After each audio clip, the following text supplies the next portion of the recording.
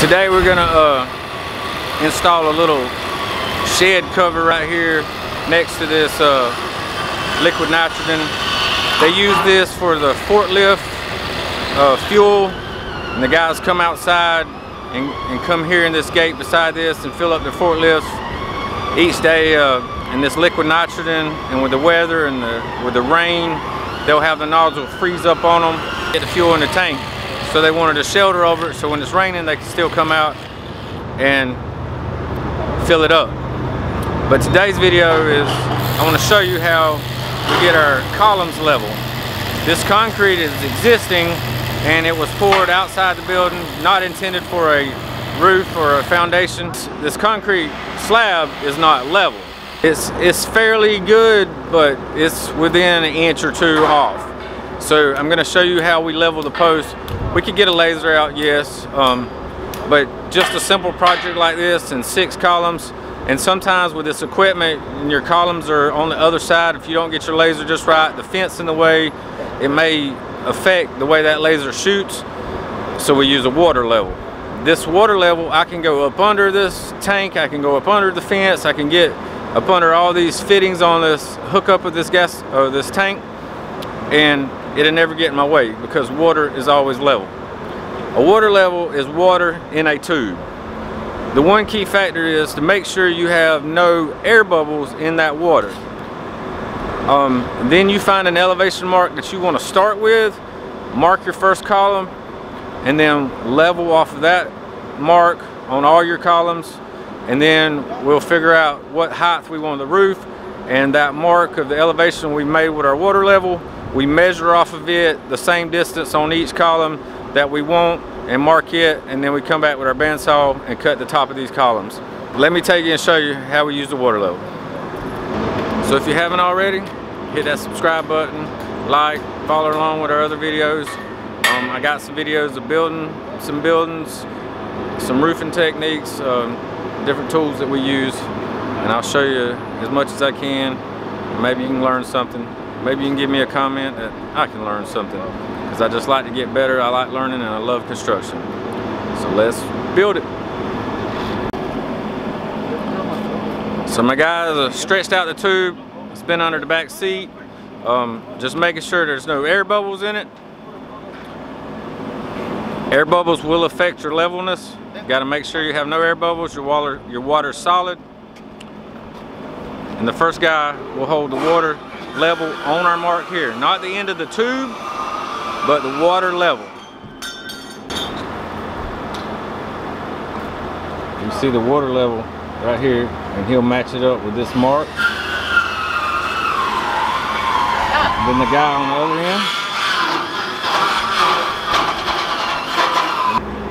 You see the water level? And we made a mark right beside it. Doesn't matter about the elevation of the ground. The water's gonna stay level. The man's gonna go to this post. There again.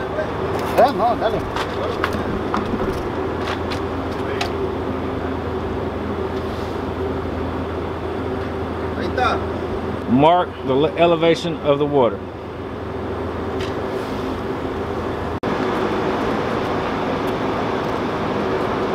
And this guy here, he can go to the next post.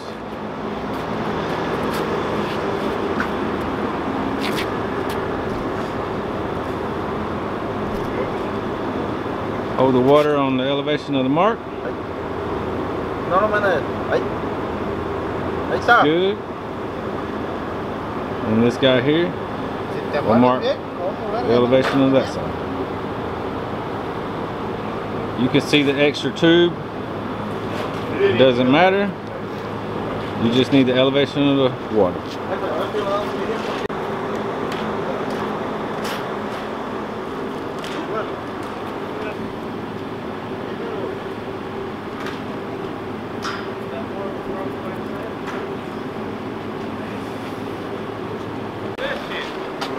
So we come across from these columns, leveled over to that one.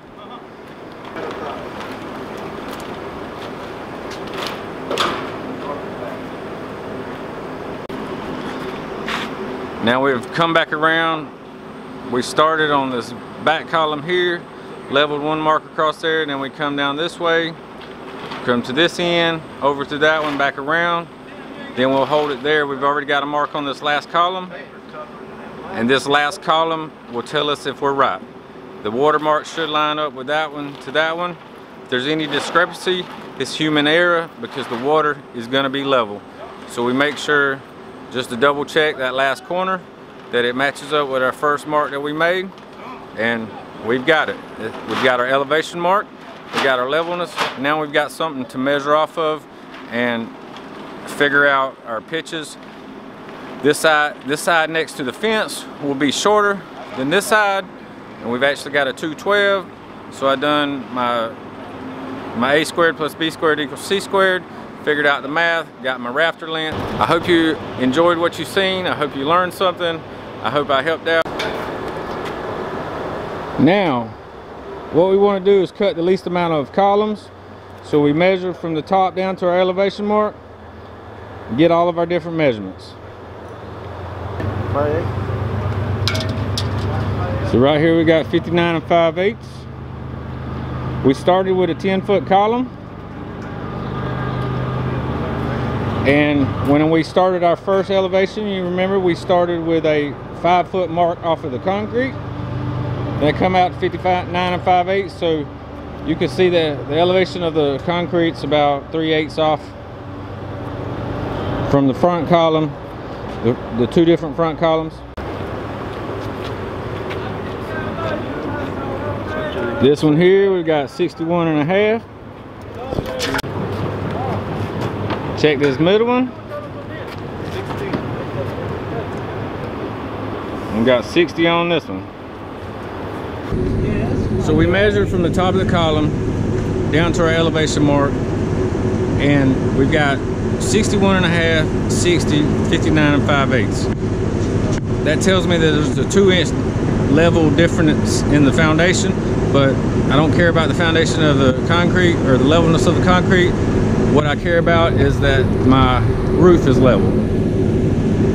So what I'm gonna do is go with a happy medium, go with the, I'll start with a 59 and 5 eighths. I'll cut the other two columns the same. I've got a level mark there. Then for the high side, I'm on a uh, 212 pitch. This is a, no, I want a 24, I want a 24 inch elevation rise from low side to high side. So I'm just gonna add 24 inches to 59 and 5 eighths, which should come up to 83 and 5 eighths, I believe. And then I'll measure from my elevation mark on the high side up to my 89, what did I say? 83 and 5 eighths mark that mark on these three columns cut those off at that mark and I've got my elevations level for my roof. Now I can start installing my rafters put my purlins on screw this metal down go home. See you next time. Until then good times